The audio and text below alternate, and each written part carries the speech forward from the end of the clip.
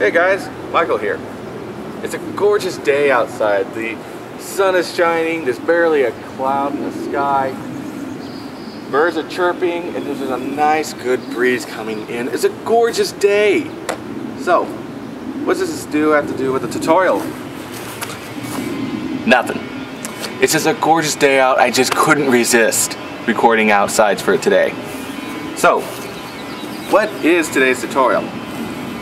Well, you guys may recall that back on my news, I said for Ubuntu users, if you guys upgrade to 13.04, the VLC method, which you replace files, that doesn't work. Now believe me when I say this, I tried everything. I tried reinstalling old packages that were from, from 12.04. I did a whole bunch of stuff, it never worked. It, the drive kept rejecting. So this method is pretty much for users who are using 13.04. This is the only way to play Blu-ray movies in VLC. Now, this this requires a program, and this program is universal. It works on Windows, it works on Mac, and of course it works on Linux. It's just, and technically this tutorial is just going to be going over how to install it for Linux and then after that it's pretty much universal by telling you how to set it up and how to open it in VLC. So, also this way it's absolutely flawless. This method will play every disc you have, even the most recent, even the ones that VLC couldn't play. The only catch is, it's 50 bucks.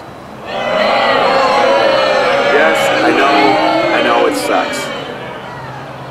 However, it does come with a 30-day trial, so you guys can have about a month of playing Blu-ray movies on VLC. So, like I said, the first part of this tutorial is going to be geared towards Linux users because, well, they have to do a little bit more than just simply clicking install. After that, the next part is pretty much universal. Still, I'm going to be using Ubuntu for this tutorial, but it's pretty much the same thing with the other versions, Windows, and of course Mac. So, with that in mind, let's go ahead and get this tutorial started.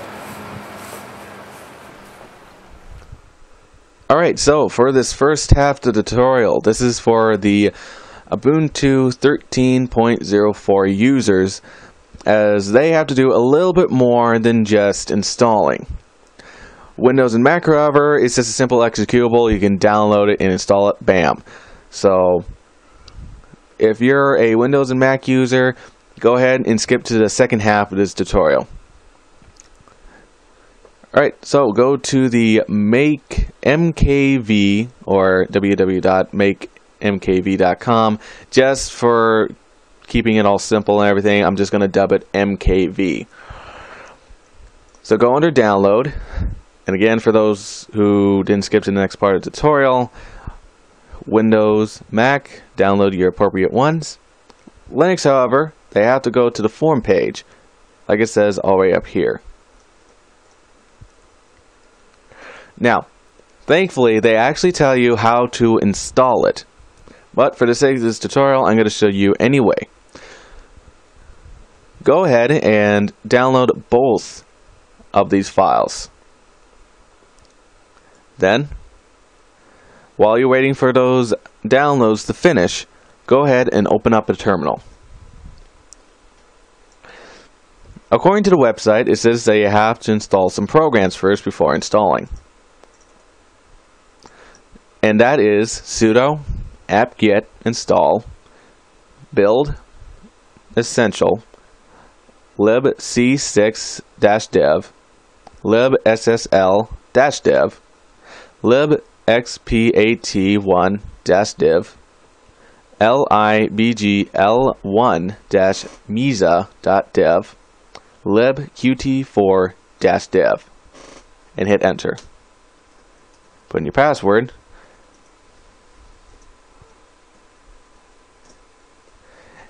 And there you go. Now, of course, I have already installed it, so I don't have to do it. Just like I did for the two files. I already downloaded them. Go to your downloads folder. go ahead and do right click and do extract here for both files.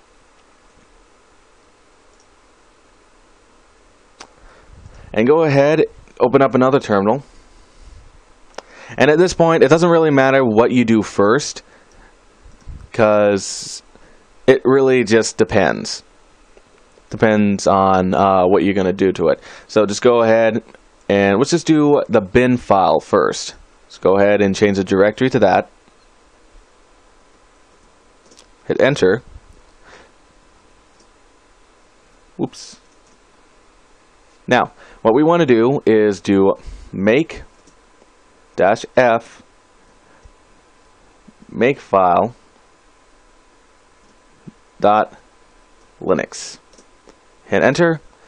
Of course, you can skip all this by hitting Q, type in yes, hit enter, and the last thing to do is what it says. Sudo make just f make file install. Copy paste hit enter. And of course I already installed this but put in your password and now it'll be installed. And go ahead and do the same thing for the other file too just make sure that you change the directory to that file hit enter hit enter of course do the same thing And the thing will go ahead and build it as you see right here. It's a little bit different.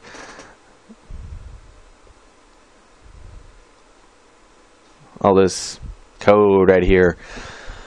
So when that thing's done, you can go ahead and do do the same exact thing. Make install.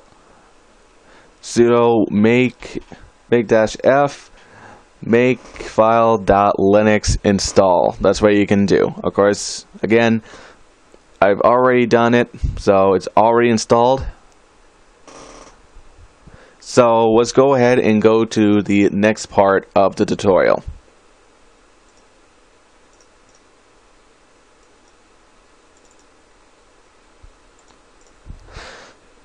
Alright, one last thing for Ubuntu users. Just search make MKV or MKV and it will show up in your search results. And let's just make a little directory right here. Alright now everyone go ahead and open up your make MKV program. Now make sure that you do have a blu-ray disc and a blu-ray drive connected to your computer when you do this. Now the next part is go ahead let it do its thing by scanning your scanning the drive, finding everything that you need. And the next part, it's going to get a little technical. Alright, I found everything. So, go ahead and hit stream. Now, this is where it gets a little technical, and let's go ahead and open up VLC while we're waiting for that thing to get set up.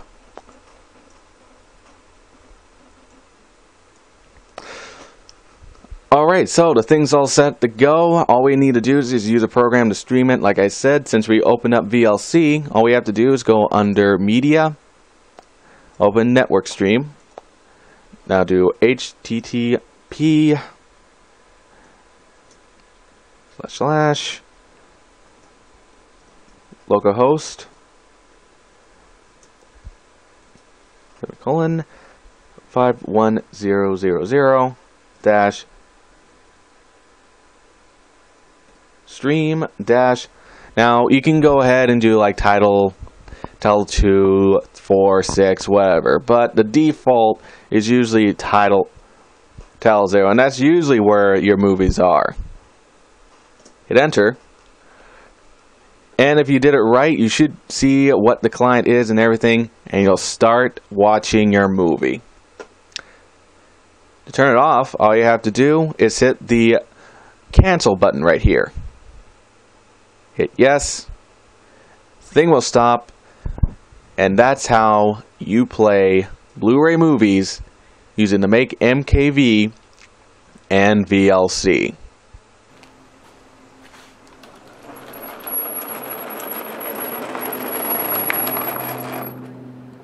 Well, that's how you play Blu-ray movies with VLC using the MKV program.